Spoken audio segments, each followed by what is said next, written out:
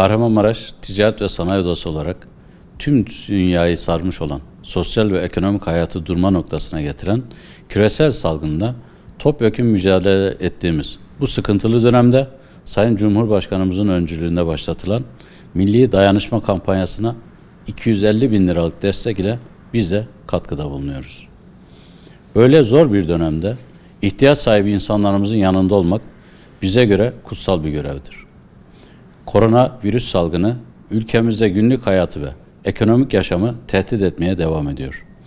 Cumhurbaşkanlığımızın önderliğinde Sağlık Bakanlığımız ve ilgili bakanlıklarımızın koronavirüs salgınına karşı aldığı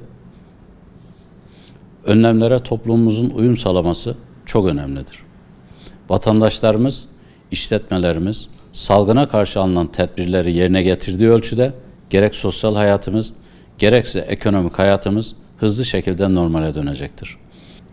Ülkemizin ve tüm insanlığın en kısa sürede bu salgından kurtulmasını diliyoruz. Umuyoruz ki ihtiyaç sahibi insanlarımıza destek olmak amacıyla yapılan milli dayanışma kampanyasına katkılar çoğaldıkça bu zor günleri kolaylıkla atlatır ve normal yaşantımıza döneriz. Bu destek Kahramanmaraş Ticaret Sanayi Odası'nın desteğidir.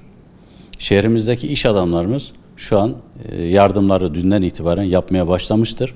Bunların hepsini de ilerleyen günlerde bizler toparlayacağız.